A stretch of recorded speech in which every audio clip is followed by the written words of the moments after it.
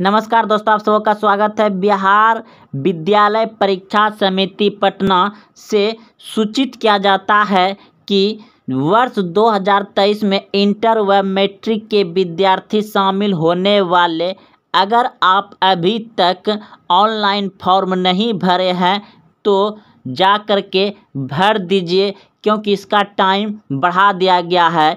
पंद्रह दस दो हज़ार बाईस तक अवधि विस्तार संबंधित किया गया है। पहले आपको टाइम दिया गया था, देखिए, फॉर्म भरने का।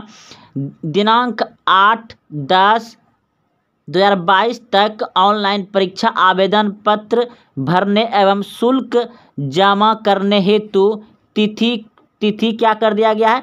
विस्तारित कर दिया गया। यानी कि करने हेतु तिथि दिनांक पंद्रह दस दो हज़ार बाईस तक अवधि विस्तार किया गया है।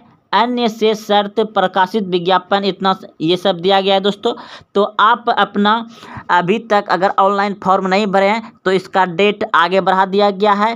पंद्रह दस दो हज़ार बाईस तक फॉर्म भरा जाएगा और हाँ आपका मूल्य पंजीयन मतलब मूल्य पंजीयन कार्ड में अंकित उसके नाम नाम माता पिता के नाम, फ़ोटो जन्म तिथि जाति, धर्म, राष्ट्रीयता, लिंग, विषय आदि सभी सभी त्रुटि अगर रही, रह गई हो तो तो प्रंथ इसमें संबंधित इससे संबंधित विद्यालय के प्रधान के द्वारा समिति पोर्टल पर ऑनलाइन सुधार किया जाएगा।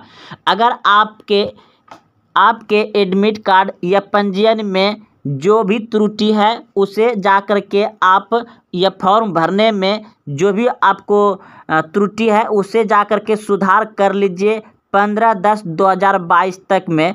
अन्यथा आपका अगर उसमें कोई बदलाव रह जाएगा तो आपका, देखिए यहाँ पे साफ़ कह दिया गया है कि पंजीयन रद्द किया जा सकता है। तो दोस्तों, आपका पंजीयन रद्द कर दिया जाएगा और आप परीक्षा देने से छूट जाएँगे। इसलिए आपका नाम, माता का नाम, पिता का नाम, फ़ोटो, जन्मतिथि, विषय, धर्म, राष्ट्रीयता, लिंग, सभी अच्छे से चेक कर लीजिए और जा के प्रधान अध्यापक से समिति पोर्टल पर ऑनलाइन सुधार किया जाएगा। तो जल्द से जल्द आप पंद्रह दस दो हज़ार बाईस तक में इसे सुधार कर लें और अच्छे से अपना तैयारी जारी रखें।